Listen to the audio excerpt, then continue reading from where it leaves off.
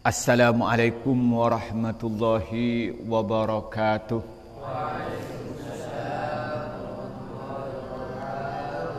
Alhamdulillahi rabbil alamin. Wassalatu wassalamu ala asrafil anbiya'i wal mursalin amma ba'du. Para santri yang saya hormati, malah kita bersyukur kepada Allah Subhanahu wa taala yang mana Allah telah memberikan bermacam-macam nikmat kepada kita terutama nikmat iman dan Islam. Kedua kalinya rahmat dan salam semoga dicurahkan kepada Nabi Muhammad sallallahu alaihi wasallam. Para santri yang saya hormati, pada pertemuan kali ini kita akan meneruskan kajian kita, kajian kitab Sifatullah fi Bayanil Azkar Al-Yaumiyah. Pada pertemuan kali ini kita akan membahas tentang doa ke yang dibaca ketika kembali dari perjalanan. Yaitu pada halaman 11 sebelah kiri nomor 4 dari nomor 5 dari bawah. Baris 5 dari bawah. Bismillahirrahmanirrahim. Babu ma ay hadza ma yaqulu idza raja'a min safarihi. Babu ma ay hadza babu ma adapun ini adalah bab sesuatu yaqulu yang membaca seseorang idza raja apabila kembali siapa orang min safarihi dari perjalanannya.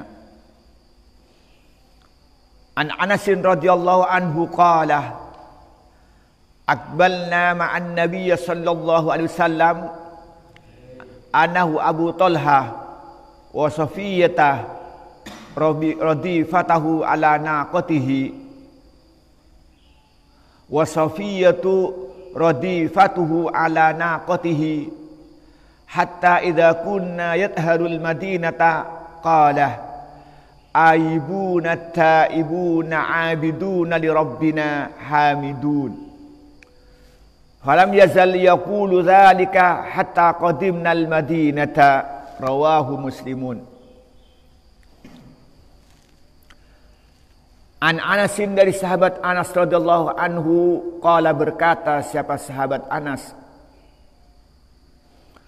Akbalna menghadap ma'an Nabi serta Nabi Muhammad sallallahu alaihi wasallam. Akbalna menuju kita ma'an nabiyah beserta Nabi Muhammad ma'an nabi beserta Nabi Muhammad sallallahu alaihi wasallam. Anak saya wa Abu Talha dan Abu Talha wa Safiyatu dan adapun Safiyah istri Rasulullah yang ketepatan putri daripada Umar bin Khattab radifatuhu yaitu membonceng Nabi Muhammad wasallam ala naqatihi atas untanya Nabi Muhammad.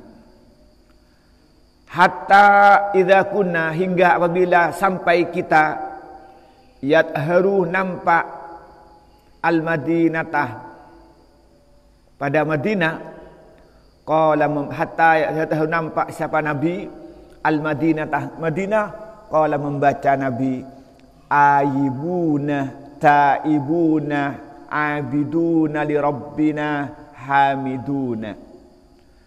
Falam yazal maka terus menerus siapa Nabi Yaqulu membaca Nabi zalikah pada bacaan Aibuna taibuna abiduna rabbina hamidun. Hatta qadimna hingga sampai kita al-Madinatah pada Madinah. Rawahu meriwayatkan hu pada hadis Muslimun siapa Imam? Muslim. Aibuna kembali kita. Taibuna bertobat kita. Abiduna menyembah kita Di Rabbina Pada pada Tuhan kita Hamiduna Sama-sama muji Aibuna kembali mereka tiru saya. Taibuna bertobat kit mereka. Abiduna kembali mereka di Rabbina pada Tuhan kita. Hamiduna. Memuji mereka.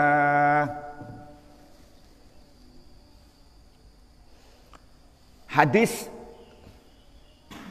yang datangnya ini sini babu ma yaqulu idza raja'a min safarihi. Hadis ini apa bab ini membahas tentang bacaan ketika dia bepergian dan akan sampai ke rumah misalnya sampai mau pulang Khairul misalnya mau pulang ke rumah setelah nyampe di Wonorejo maka baca doa ini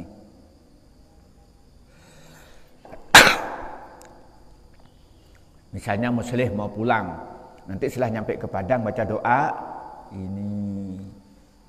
Nah, ini dari sahabat Anas radhiyallahu anhu bahwa dia itu berjalan bepergian bersama Rasulullah dan juga sahabat Tolha. Nah, Rasulullah itu naik unta sedangkan yang bonceng di belakang itu istrinya namanya Siti Sofia. Nah, kemudian katanya selama setelah Rasulullah itu sampai ke daerah dataran dekat Madinah, Rasulullah baca apa katanya? Aibuna taibuna abiduna li rabbina hamidun. Apa doa yang dibaca katanya apa? Di sini yang dibaca doa apa bacaannya? Aibuna taibuna abiduna rabbina hamidun. Terus Rasulullah membaca membaca doa ini sampai nyampe ke Madinah. Nah, apa artinya? Ayibuna kembali mereka. Atau kalau diawali dengan ana nahnu nahnu ayibuna kita kembah kembali. Nah taibuna. Kembali kita atau mereka kembah kembali. Kalau diawali dengan nahnu.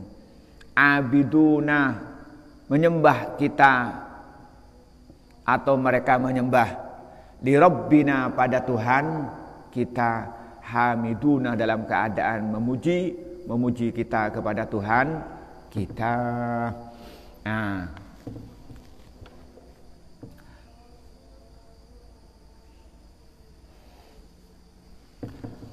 kalau diartikan ayibuna Artinya kembali kepada Allah. Kita kembali kepada Allah. Artinya apa?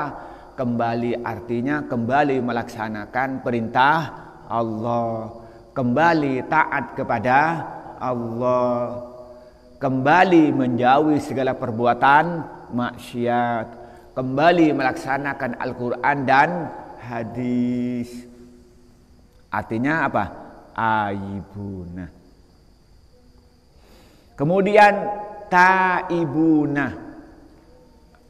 Kita bertobat kepada Allah. Apa tobat itu? Mengakui dosa-dosa yang pernah dia lakukan. Kalau pernah dusta, dia mengaku, mengakui. Kalau pernah dia sholat subuhnya terlambat, mengaku, mengakui. Kalau dia pernah dia itu menyakiti menghina orang lain dia mengaku mengakui. Kemudian yang kedua apa? Menyesali terhadap perbuatan yang dia kerjakan. Menyesal kenapa berdusta? Kenapa menyakiti orang lain? Kenapa tidak sholat subuh? Kenapa dia itu membentak? Kenapa menentang orang tua? Menyesal atas perbuatan maksiat yang dia lakukan yang ketiga apa? Dia berjanji tidak akan pernah ngulangi lagi. Tidak pernah ngulangi lagi. Yang keempat betul-betul tidak mengulangi lagi terhadap perbuatan yang pernah dia lakukan. Yang kelima dia banyak membaca istighfar. Banyak membaca istighfar. Astagfirullahaladzim, astagfirullahaladzim, astagfirullahaladzim. Kemudian yang keenam, banyak beribadah kepada Allah. Solat lima waktu berjamaah, zikir setelah solat, baca Al-Quran. Kemudian membantu fakir miskin, berjuang di jalan Allah, banyak silaturahim, banyak bersedekah, banyak mengaji kitab, banyak itu yang keberapa? Yang keenam. Yang ketujuh, kalau berkenaan dengan hakul adami, berkenaan dengan manusia, misalnya dia um, mengerasani orang lain, maka harus minta maaf kepada orang yang dirasani. Kalau pernah mengambil hartanya orang lain, maka harus hartanya dikembalikan atau minta dibebaskan. Itu namanya apa? Orang yang bertobat. Maka apa katanya di sini? Doanya berikutnya apa? Taibun bertobat. Berikutnya apa? abidu abidu nali rabbina. Beribadah kepada Allah. Apa ibadah itu? Kullu ma yuhibbuhu kullu ma yuhibbullah yuhibbuhullah wa yardahu. Setiap sesuatu yang dicintai Allah dan diridhoi Allah min qaulin wa fi'lin. Baik perkataan maupun perbuatan baik dikerjakan oleh hati atau anggota badan. Apa dicintai oleh Allah? Maka cintai Allah itu adalah ada yang sifatnya ibadah mahdoh, ada ghairu mahdoh. Ada yang sifatnya berhubungan langsung dengan Allah seperti salat, zikir, berdoa, apa umrah, haji, puasa itu sifatnya apa? Yang sifatnya ibadah mah mahdoh yang berhubungan langsung dengan Allah. Ada ghairu mahdoh seperti apa bersih-bersih masjid, sapuan di rumah, berkata jujur, yang ketepatan dia punya harta bersedekah, yang ketepatan punya kekuasaan dia menegakkan kebenaran dan keadilan. Kemudian silaturahim pada tetangga, itu yang namanya ibadah. Ibadah di mana ibadah itu adalah kita diniatin karena Allah dan dengan ibadah itu apa yang terjadi? maka dosa-dosanya diampuni oleh Allah karena ibadah kepada Allah. Segala apa saja yang dicintai oleh Allah dari Allah itu sebut namanya ibadah. Kemudian apa yang terakhir hamidunya bertahmid. Apa bertahmid itu? Di antaranya bacaan alhamdulillah, alhamdulillah. Kemudian hamidunya apa? Memuji Allah artinya apa? Dia mengakui al-itraf bi umillah, dia mengakui terhadap nikmat-nikmat Allah wa sarfuha bima yuhibbu wa yardah. Lalu menggunakan nikmat-nikmat yang Allah berikan itu diucapkan apa di apa sesuai dengan apa yang Allah diridhoi.